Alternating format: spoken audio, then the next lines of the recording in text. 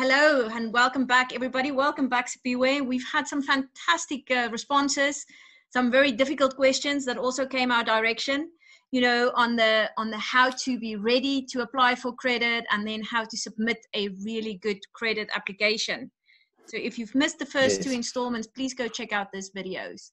So, Sipiwe, what I'm really interested about today is you know you are going to tell us how a, a, financial institution actually look at us when we apply for credit. So thank you so much again for joining us today. And please tell us what is it that we that you look at? Oh thank you elmarie for the opportunity again. Uh, good day to all our um, um, listeners uh, even viewers. Thank you for making time to be able to listen to what we have to offer so the um, the important thing when it comes to credit, uh, we have we spoke about how to apply for credit at the, one of the institutions, or how to submit a good credit application, and then what we're dealing with now, we're dealing with the back end of things. The back end, I mean that I'm speaking about what happens when we receive your motivation, when we receive your application. This is what uh, the people that deal in the credit department they they look at. So we, they look at what we call the five C's. So the five C's of credit are to gauge the credit worthiness of the business. So what we mean by that is that we believe that we can't just give or borrow or lend money uh, just recklessly because we are being governed uh, and regulated by the NCA and the NCR. So what what they what it basically entails is that we must make sure that we we borrow credit or we give out credit responsibly. So these are the five C's that we're going to look at. So the first C is character, the second is capacity, the third is capital, the fourth is collateral, and the fifth is conditions. I'm going to start with the first one, character. What do I mean when, we, when I say character? So mostly character, character is reflected by your credit history. But what does it have to do with credit history? If we know when we talk about character, we're talking about things like trustworthiness, we're talking about things like honesty, we're talking about things like responsibility, you know, we're talking about things about um, um, um, um, um also your intent. It has to do with your character you know? So how you how your character is or how you portray your character who you are is what you will all who you are inside is what you will always portray on the outside. I'm to make an example. As a person on your personal profile credit profile if you don't honor the the agreements that you made from a personal perspective, let's say you've got a cell phone contract at one of the big cell phone companies. The agreement was that they will they will deduct on the 31st of every month. And it happens that after just getting paid, you deduct all your money and they don't get anything. So every debit order that goes off your account doesn't get money. So that means that it has to do with your character uh, because that you are not being honest you are not being responsible or accountable. So we look at that thing. So we look we go into your account and how you have been managing your account on your bank account. And we look also on your what we call your credit history. There are different institutions that we use like experian you know. Those are one of the institutions that we use to check your credit profile. That's the character. And then the capacity it's your ability to pay the loan by looking at your income to debt ratio what does it mean? So your capacity is that we can never borrow you more than what you can afford. It's that's what it basically means. What what you are applying for as a business, can you really afford to pay it back um, as per how you say you'll pay it back? So we look at that. Do you have the capacity to be able to pay the loan or the banking facility back? Are what that is one of the things that we also look at. And the third one, the capital. How much money do you have? When you look at your your financial statement, one of the key things you look we call it owner's equity. As a as an owner, you know, as an owner, what have you invested in this company?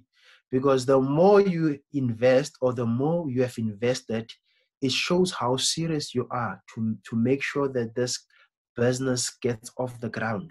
So we look at the cap, you might be seeking a certain, let's say, just make an example.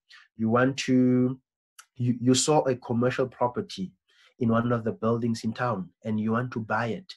And then what we look at, okay, the building costs 3 million, but are you going to apply for 3 million from us as the bank or you're going to apply for, let's say, 2.5 million and then the rest you will also invest the other five, five, 500,000 you will also take out of your own pocket or out of the business.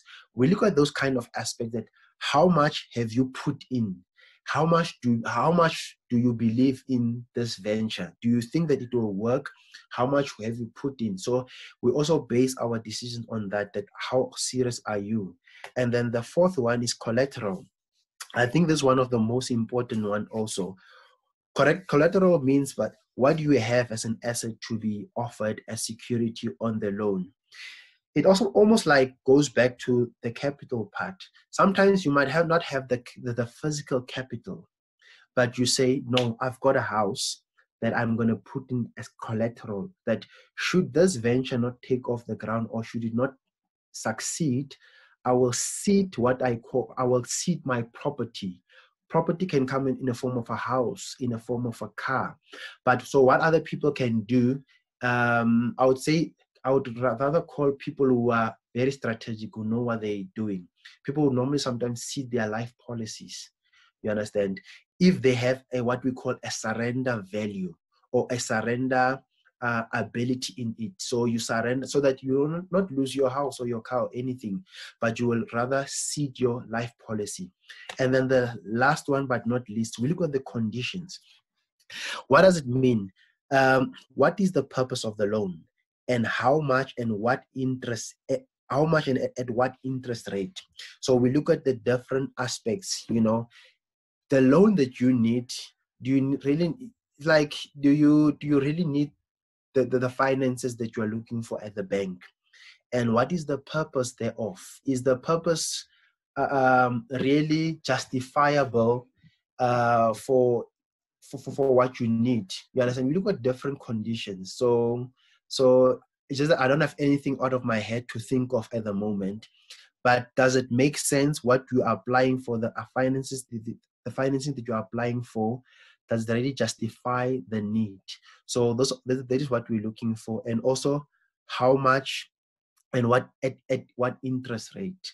So we look at different aspects because sometimes you you you you might they might say that you do qualify for the loan. But the challenge is we might give you at a higher interest rate because of of of of, of the way you manage your credit profile so because you are too much of a risky client for us to give money to, so we rather give at a higher interest rate. So that higher interest rate can serve two purposes. Is either it's a way to wade you off to say, no, this interest is too much, I won't be able to afford it. But if probably you are really serious, you can still go for it.